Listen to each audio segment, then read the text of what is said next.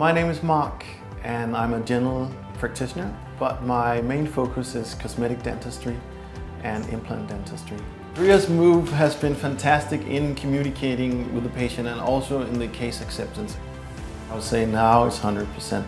Then there is of course the whole smile design.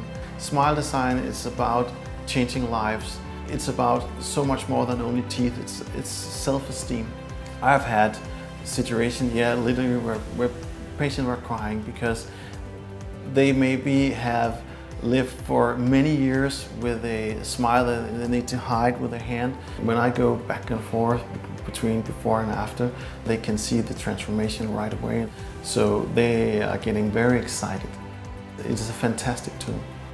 Also what makes it stands out is that uh, I can send the scan to the patient so they can see on their phone, they can see their own case.